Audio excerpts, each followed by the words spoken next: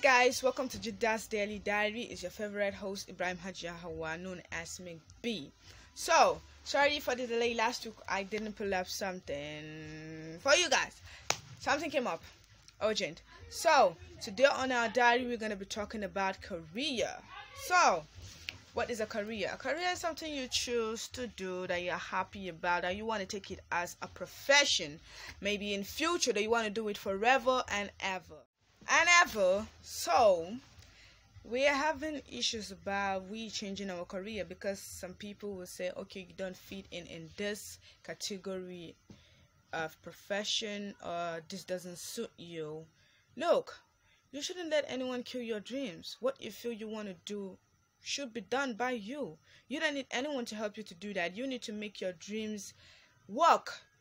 Like if you love something, go for it let anyone tell you about you fit in or you don't fit in. And secondly, sometimes there are some obstacles we reach and this extent length we reach and we feel like we don't want to do it anymore like we're tired we ain't gonna make it. No you have to have hope and believe in yourself. Let me tell you short thing about me. It's not like i'm saying this to make you feel maybe um hopeless or something like that. I'm saying this because this is actually part of me. Let me just break it down for you.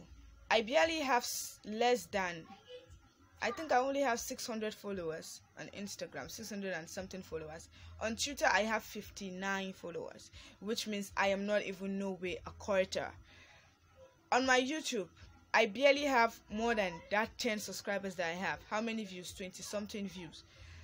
It kills me it kills me. There was a time that I even called a friend of mine. I was not like, okay, fine, I'm tired. I don't want to do this anymore. I'm not having subscribers. I'm not having viewers. I just want to, I, I want to stop it. Then he was not like, okay, do you think success is something simple for you to get? You need to struggle hard for it before you get it. So I don't think you should just lose hope by now. You need to struggle. Like there's a lot of sweat in it. You need to suffer, then enjoy. So you need to put more strength and do what you want to do. You need to do it. No one should kill your dreams. You need to work hard for it. All these people you see making money and whatsoever, they really work hard for it. So I think you should work hard and believe in yourself. Don't let anyone kill your dreams. Just know who you are, know what you're best in, then you kick the shot and by the special grace of God, have faith in God, and you're gonna be flying colors. So this is the end of Jidda's Daily Diary, and I hope you learned something. Bye bye.